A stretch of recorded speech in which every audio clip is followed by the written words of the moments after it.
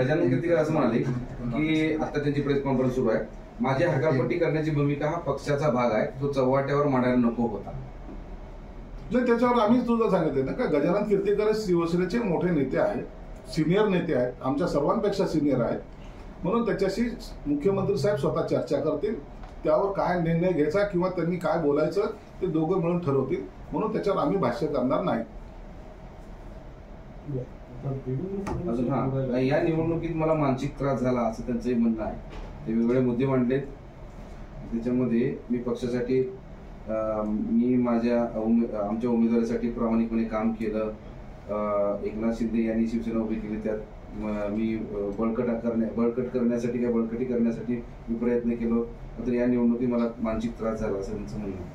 निश्चित मानसिक त्रास होतो. कोणताही घरामध्ये जर वादविवाद झाले तर त्याचा मानसिक त्रास हा होतो. गजानन कीर्तीकरण झाला.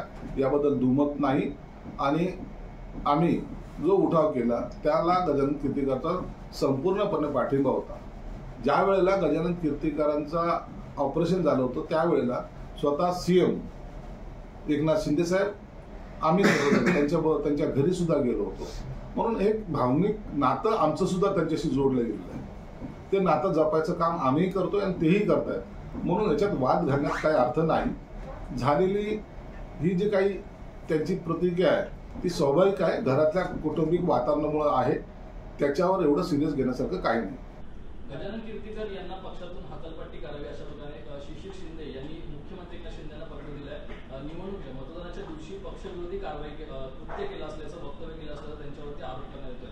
कुठेतरी शिवसेनेमध्ये फूट पाहायला मिळते अमित किर्तीकर यांना मतदान केल्यामुळे त्यांच्या आईने शिवसेनेत फूट नाही शिवसेनाच राहणार नाही त्यांची याच्यानंतर. या निवडणुकीत सगळा त्यांचा सगळ्या ठिकाणी पराभव आहे. त्यामुळे तो त्यांच्या पक्षातला अंतर्गत पक्ष प्रश्न आहे.